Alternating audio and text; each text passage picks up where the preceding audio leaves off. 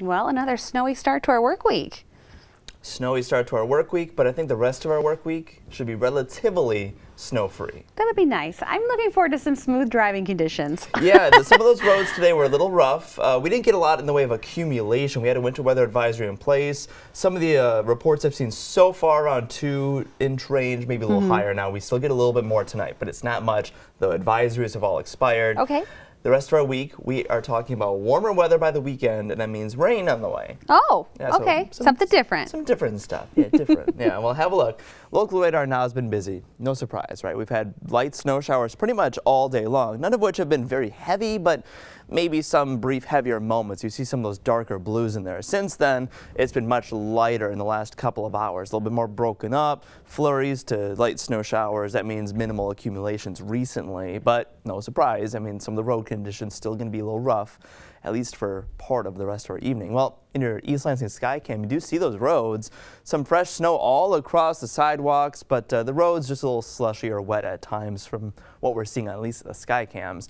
Temperatures have been into the upper teens to low 20s most of the day. 19 now in Lansing, but looking around the entire region, I mean, another cold view below zero, single digits we don't warm up much for a little while, not until maybe Friday, Saturday time frame. There is warmer weather ahead, but still going to be a few more days.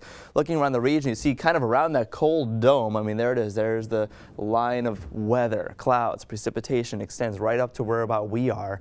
And the snow now moving its way into the northeast. The heavier snows are out of our hair for now. Look at these headlines though. There's the wind chill again for a lot of that cold spot I just showed you. Most of Wisconsin is still underneath that winter weather advisory, but there it is, advisory and extends all the way down south. I wanted to show this. They've been getting a lot of rough weather lately across the south. Winter storm warning across a lot of Texas, a lot of freezing conditions. Yeah, of course, they're not usually very accustomed to that kind of weather. Well, for us around here, light snowfall tonight. Any uh, accumulation probably less than one inch fresh accumulation as of now. Flurries tomorrow, nothing significant.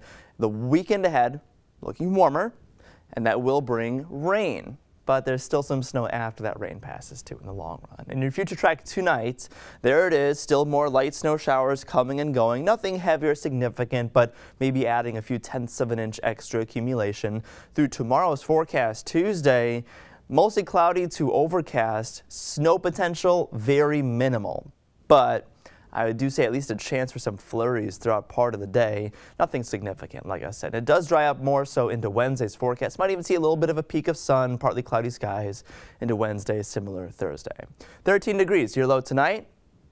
Light snowfall does continue for a lot of the night, but uh, any fresh accumulation should be a few tenths of an inch, easily under one inch from where we are now. 20 degrees, Tomorrow's high similar to today with that light northwest wind and cloudy. Watch out for just a few passing snowflakes throughout the day tomorrow. Into the seven day forecast, cold midweek, but it does start to get a little warmer by Thursday, Friday, and then 40 plus, I'd say Friday, Saturday, Sunday.